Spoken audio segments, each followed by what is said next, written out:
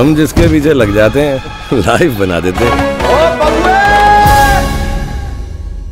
शाहरुख की film zero का fans को काफ़ी समय से इंतज़ार है। फैंस इसकी एक झलक पाने को तरस रहे हैं। इसकी वजह यह है कि इस फ़िल्म में शाहरुख खान एक अलग ही अवतार में नज़र आने वाले हैं। फ़िल्म में पहली बार शाहरुख ने इस तरह का चैलेंजिंग रोल निभाया है। इस फ़िल्म में उनके लुक को लेकर खूब चर्चा हुई। अच्छी खबर ये है की अब शाहरुख के फैंस को और इंतज़ार नहीं करना होगा। फ़िल्म का ट्रेलर रिलीज़ होने की घोषणा हो चुकी है। फ़िल्म का ट्रेलर एक स्पेशल दिन प्लान किया गया है। हाल ही में फ़िल्म के निर्देशक आनंद दल राय ने घोषणा की है कि फ़िल्म का ट्रेलर 2 नवंबर को जारी किया जाएगा। शाहरुख के फैंस के लिए इससे अच्छी खबर और क्या हो सकती है? 2 नवंबर को शाहरुख का बर्थडे है। डायरेक्टर आनंद दल राय ने यह भी बताया कि फ़िल्म की शूटिंग लगभग पूरी हो चुकी है। इस फ़िल्म की शूटिंग मुंबई के अलावा अस में भी हुई है। फ़िल्म में शाहरुख के साथ अनुष्का शर्मा है। आनंद दल राय ने इस बात पर ज़ोर दिया कि film post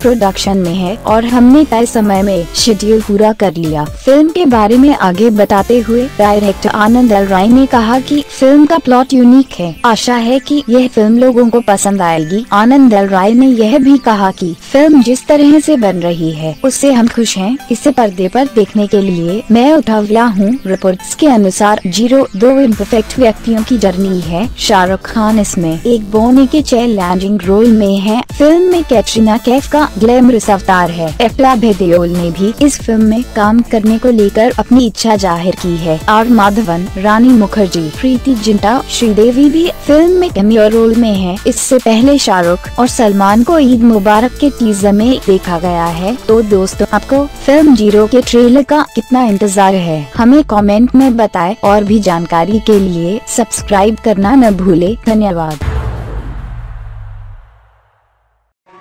Subscribe to the channel and turn on the notification bell so you never miss an update.